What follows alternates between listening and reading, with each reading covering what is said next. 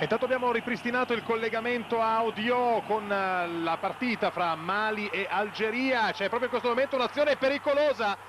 È il eh, gol del Mali che abbiamo visto per l'1-0 segnato dall'attaccante Touré Bassala. Allora 2-0 in questo momento, 2-0 in questo momento per il Mali che festeggia il gol con la folta pattuglia di tifosi sugli spalti. Vi ricordo che il Mali era in vantaggio 1-0 grazie al gol dell'attaccante dello Strasburgo Mamadou Bagayoko.